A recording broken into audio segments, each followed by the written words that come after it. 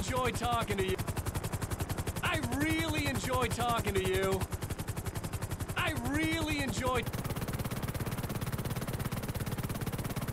I really enjoy talking to you. Here you go.